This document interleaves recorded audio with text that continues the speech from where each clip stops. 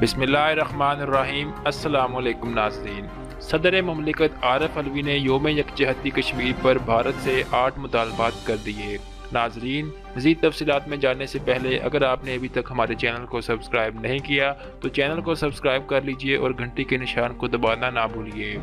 مزید تفصیلات کے مطابق صدر مملکت عارف الوی نے یوم یکجہتی کشمیر پر بھارت سے آٹھ مطالبات کر دیے۔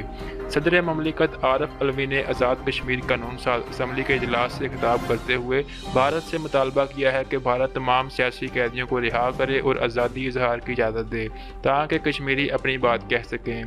انہوں نے مطالبہ کرتے ہوئے کہا کہ نہتے کشمیریوں پر آتشیں اسلحے اور پلیٹ گن کا استعمال بند کرے انہوں نے کہا کہ چارہانہ کالے قوانین واپس لیے جائیں اور کشمیری قیادت کو اپنا مقدمہ پیش کرنے کے لیے بیرون ملک جانے دے کشمیر پر صرف کشمیریوں کا حق ہے۔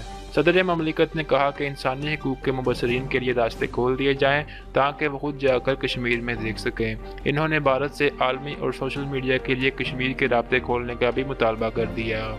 تو ناظرین ویڈیو کے بارے میں اپنی قیمتی رائے کا اظہار کمنٹ باکس میں ضرور کیجیے۔ اور ایسی مزید نیوز اپڈیٹس کی ویڈیوز جاننے کے لیے ہمارے چینل کو ابھی سبسکرائب کریں۔ شکریہ۔